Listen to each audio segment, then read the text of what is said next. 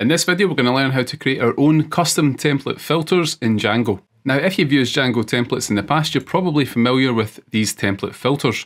If we look on the right hand side here, we have examples of some of them in this built-in filter reference. For example, the date filter. That's used to format a date inside your template, so you can use that to format dates coming back in the context. And some other examples include the time filter here, and that's used to format time, for example, in hours and minutes. And we have other useful ones such as the JSON script template filter, which is used to safely output Python objects as JSON. And there's many more of these built-in template filters. They all do useful things, but we can actually create our own custom ones too to consolidate some kind of logic.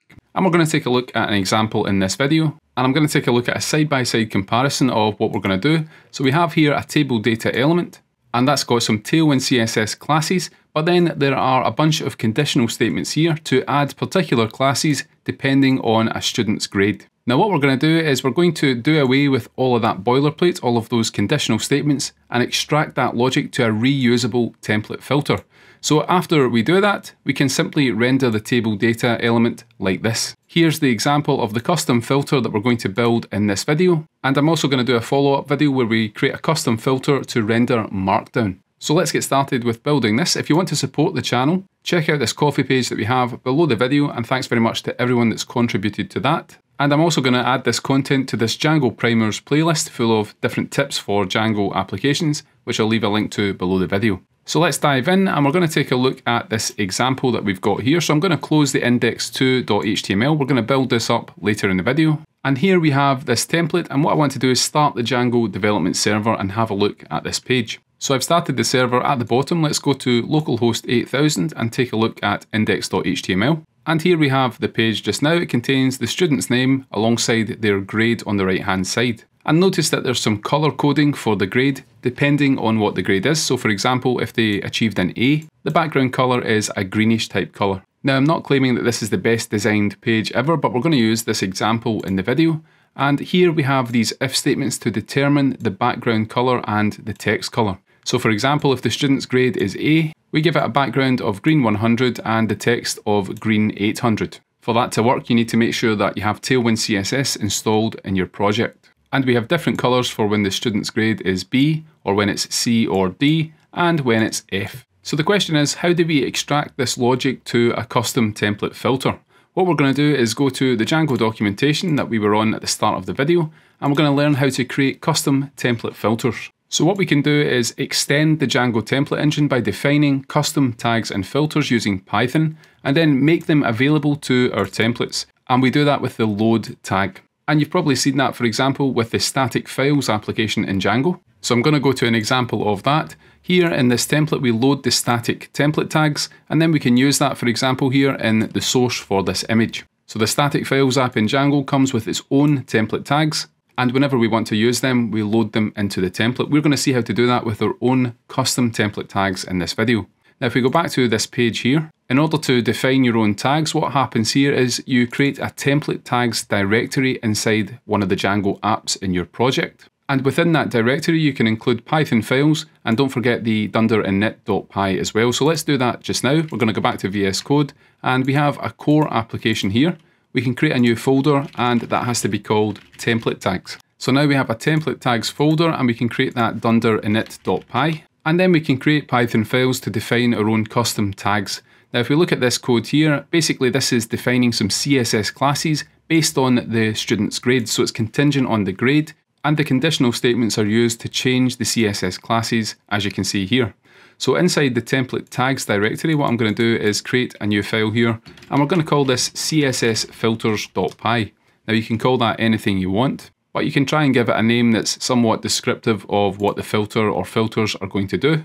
And if we go back to the documentation, let's scroll down a little bit further to see how we can actually define these filters. Now to be a valid tag library, as it says here, the module has to contain a module level variable named register that is a template.library instance. Now you don't need to know too much about this, but you do need to just copy this code and we're going to paste that into cssfilters.py. So we now have a variable here called register and we've instantiated the template.library object. This is a class where you register template tags and filters. So we want to use that to register a template filter. And if we go back to the documentation again, let's scroll further down here on this section on writing custom template filters, and there's a link to this page below the video by the way. Now custom filters, they are just Python functions that take one or two arguments. And there's an example down here below, this filter that is defined here where we have this statement. The filter name is foo and it's passed the variable called var, as well as the argument of bar. So let's scroll down a little bit further here on registering our own custom filters.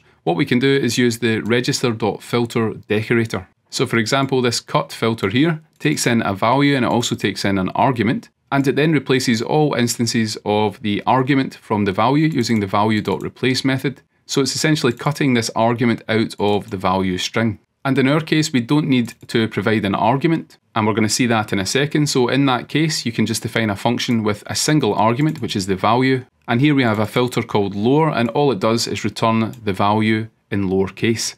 So let's go back to our file here, and we're going to map over some of this logic here into the file. So to declare a filter, we use that decorator register.filter, and then we're going to define a function here called grade class that takes in the value from the template. Now I'm going to define a dictionary in here, and it's going to be called grade class map, and it's going to map a particular grade to some classes here. So for example, if you get a grade of A, you get the background green 100 and text green 800 classes. We can then take the value that's been passed in and let's define a variable called user grade. So we're going to make sure that value is a string and then we're going to call dot upper to that value. And that's because we're about to perform some matching between this value here and the keys in this dictionary. So for example, if we have a lowercase a, we want to map that to an uppercase a so that it matches the key in the dictionary. And finally, we're going to return a value from our template filter. And that's what's actually going to be put into the template when we use this. So we're going to take the dictionary, which is called grade class map, and we're going to call the dictionaries.get method, and we can pass that user grade that we've extracted in there. So if user grade is A, it's going to look up the dictionary, it's going to find this and give us back the value that we have here.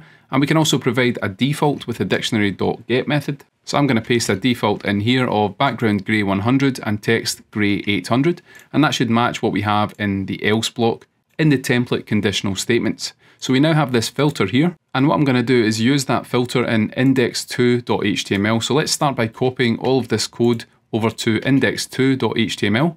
And once we've done that, we can go to the top of the file, and we're going to use the load tag here, and we're going to load our custom filters in the CSS filters module. So Django knows to look at this template tags directory and it's going to find CSS filters and it's going to load those into this particular template. Now I want to highlight one thing from the documentation, and that's that the development server is not going to automatically restart after you add the template tags module. So you will need to restart your server before you can use the tags or filters in your templates. So you'll probably need to do that, so I'm going to, do that just now. So we're rerunning the Django development server, and what we're going to do now is we're going to greatly simplify this logic here. So I'm going to cut out all of these conditional statements. Let's remove those. And all we need to do now is use our custom template filter and pass in the student's grade. Now, if you're wondering where the data comes from, we have a student here, and above that we have a for loop, and we're iterating over those students that are passed into the context in this index view here, and we've hard-coded a list of students. As you can see, each one of them has a name and a grade. So we can access that data here, for example, student.name, that's going to expand using this syntax into the actual name of the student, and we can do the same for the student's grade. So what we're going to do here is define the Django syntax for a dynamic variable. And we're going to reference the student's grade here, so student.grade. And this time what we're going to do is we're going to use our custom filter. Now if we go back to cssfilters.py, the name of this function is grade class, so we're going to copy that, and we're going to use that here. And let's tab over the actual grade within this table data element. Now before we go and test this out, what I'm going to do is go back to views.py and we're going to change up the template that we're returning from the index view because we now have index2.html where we've consolidated that logic and we're using our own custom template filter. So let's change this to index2.html. And I just wanted to do that so we can show the side by side at the end of the video. And we can go back to our template now. And when we refresh this page, you can see we still have the same look and feel, the same logic is being applied to the background color and the text color. So why is this implementation better here?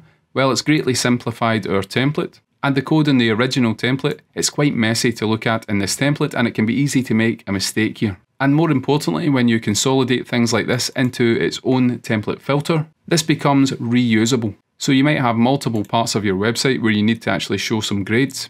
That is now reusable. You can use the same template filter if you want to have that same background logic for the classes and the text color. And it's very simple to do this in Django, so let's finish with a very quick overview of that and bring back the sidebar. All we need to do is define a template tags directory inside one of the Django apps in our project, and we can define app-specific template filters and template tags inside of that directory, and then we simply load those filters into whatever templates need to use them, and then we can use those as you can see here. And this is not only going to work with template filters, but you can also define custom template tags as well, and that can include inclusion tags. If you're interested in a video on that, let me know in the comments.